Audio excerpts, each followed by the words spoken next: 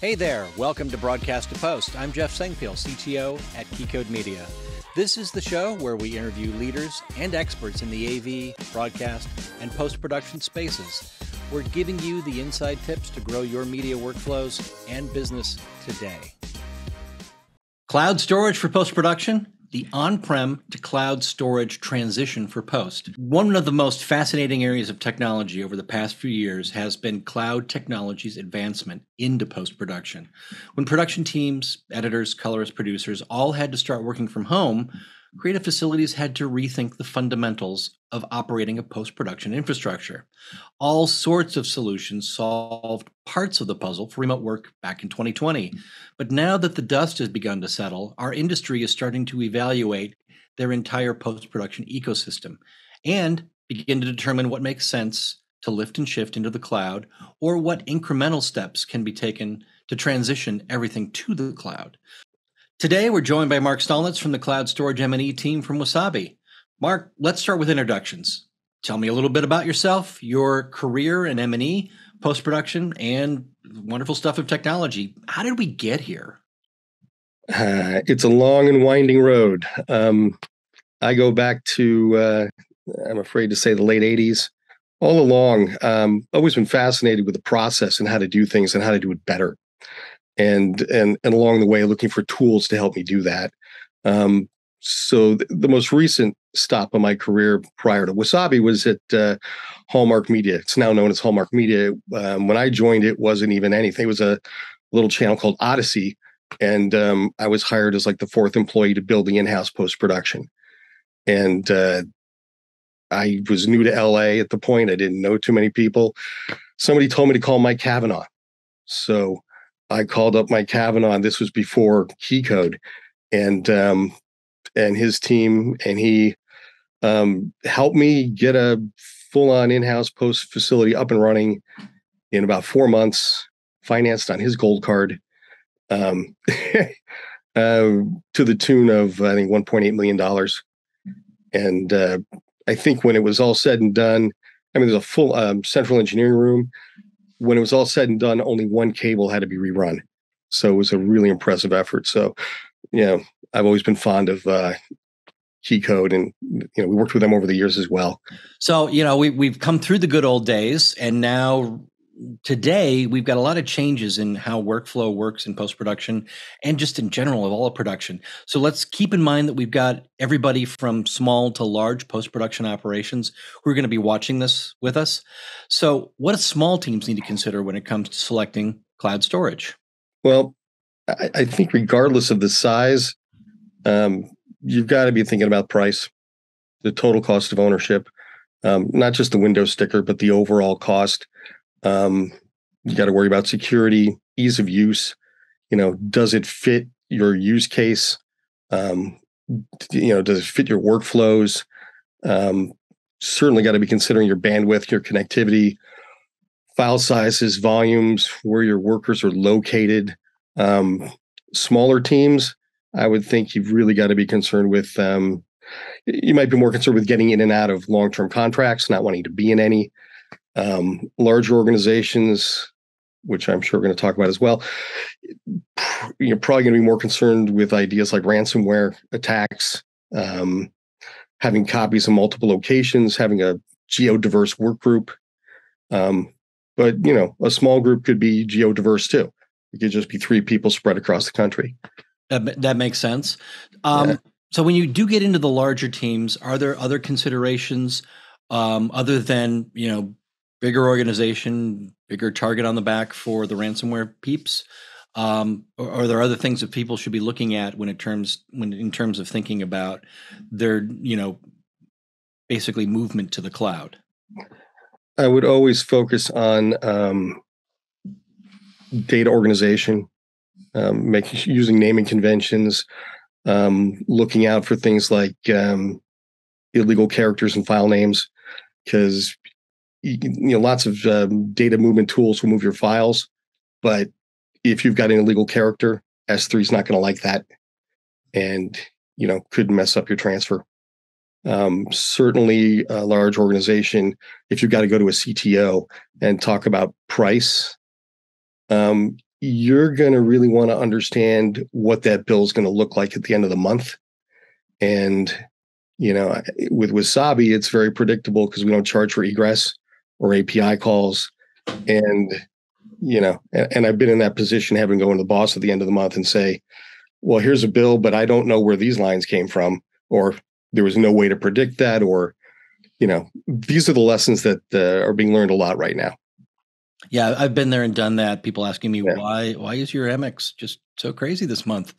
Um, and that that's I think one of the ways that we can help folks transition to the cloud.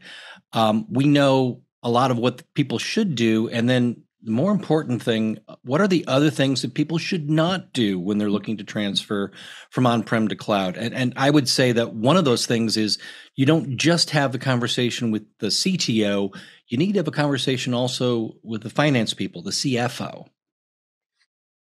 yeah and, and that was who my boss was was the cfo so absolutely it you know you, need to take a look at your um, total cost of ownership over time um, I mean, on prem uh, has been rock solid for years, but so is the cloud now. Um, you got to look at you factor in your bandwidth costs, um, certainly for your total cost of ownership.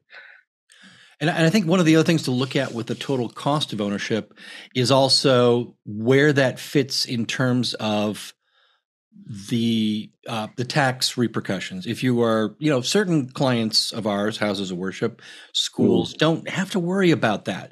But people who are, you know, in in standard commercial businesses, tax ramifications are important considerations to, to to think about, and that's where those discussions, I think, with the CFO make sense.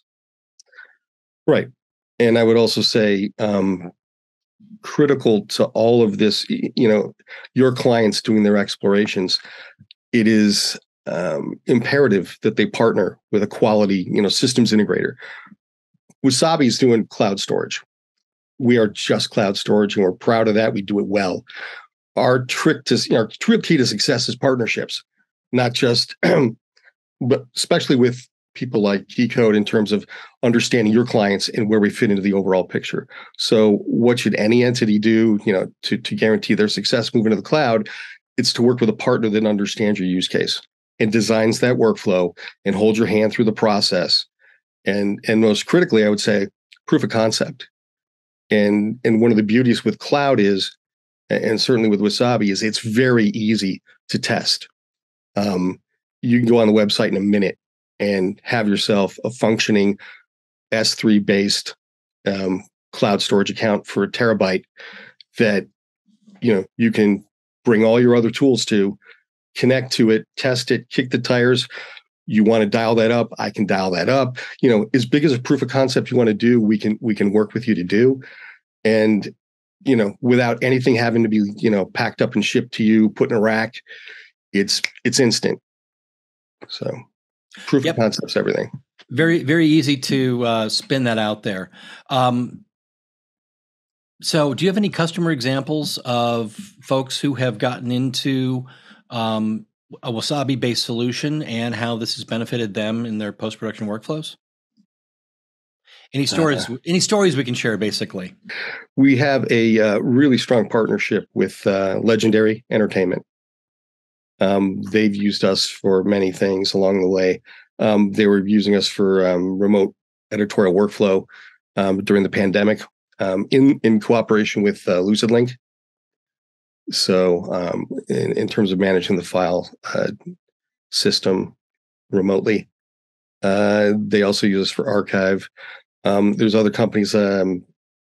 VDMS has a uh, digital asset management system called Vita. Um, it's like a, um, I think it's like an asset management system on demand, and we are their back end hosting their uh, their asset management, their, the, the assets for their asset management system.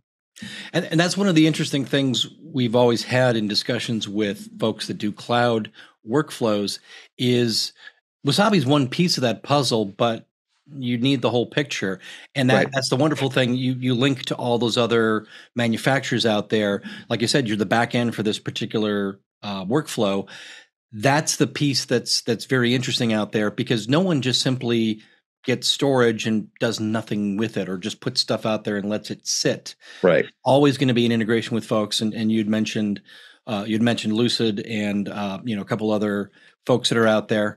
So before you had mentioned S3, and uh, for those that don't know, that's what Amazon calls simple storage service S3. That's where it came from. yeah. In mentioning our friends at AWS, how do you how does Wasabi differentiate from the AWS and Azures and Googles in, that are living in this space today? Most importantly, um, price and simplicity. Um, like I mentioned before, um, we are I did mention before, but five ninety nine per terabyte per month. Um, it's up to eighty percent less than Amazon. So on a price point level, we got them beat. And then you talk about something that you know is easily overlooked but is so important is the predictability of that pricing which is that we don't charge for egress we don't charge for api calls and those are those little nagging onesie twosie pennies that you know per transaction you don't even know are going on in the background that pile up and before you know it it's dollars tens of dollars hundreds of dollars that you know you probably didn't budget for so we don't charge for that we're strictly charging for the storage um, we pride ourselves on simplicity. It's one tier. It's always hot. It's always there for you um, when you need it. Um, data is safe with 11 nines of data durability. Um, and, and again, critically, it, it's about our partnerships. That even, especially with M&E, we have so many um, technically allied partners across asset management, transcode, delivery, acceleration, um, remote file systems. I mean, you name it and we're just and it's simple because we're just based on the Amazon's S3 protocols. We didn't do anything different with them. So if there's a tool set out there that you know you work with that you want to keep working with, odds are we already work with them or we can work with them very simply. And the wonderful thing about an S3 location is it, it it's kind of like a zip code. If you put a different one in, it just goes somewhere else and talks yeah. to that area instead of the one you, you think it was talking to. So in so uh, many products, we are really just a pull down choice in a menu. Definitely, and and just being able to plug those those values in and off you go. That's that's what I think is one of the the beautiful things about moving into the cloud. It's once you decide you're going to do it, it's pretty pretty easy to get there and and scale yeah. is not a problem. Um, you know if i need to scale on-prem storage if you got 100 terabytes and you suddenly need 500 i need to come in and look at your power look at your cooling and look at your network connectivity right. and add all this other stuff and and if you need it in, in wasabi guess what? Just put it there. That's all you need to yeah. do. Put it up You're there. never, ready, ready to never go. to run out of space. Exactly and that, that's one of those beautiful things uh, because uh, it's very few people that I've run into who say, you know what, I just have too much storage space. I, I just don't need all this this space. Not not not usually going to happen. So, Mark, if you were going to come up with a tagline for what you would think people really need to take away about Wasabi storage, what would that be? Well, I, I remember the old adage in the industry is like you can have it good, fast, or cheap. You know, pick two. Well, I like to think with Wasabi you can have all three. Ooh, uh, I like that. I'd like all three, please. You can have them. Perfect. Uh, Mark, thanks for taking the time to talk with us here today. If you've got questions about getting into cloud storage with our friends at Wasabi, please reach out to us here at Keycode. And for Keycode Media, I'm Jeff Sengpiehl. Well, thanks for having me, Jeff. Thanks for watching Broadcast to Post. Please make sure to subscribe to the podcast to receive future episodes. Follow Keycode Media on LinkedIn, Twitter, Facebook, or Instagram to receive news on additional AV, broadcast, and post production technology content. See you next time, folks.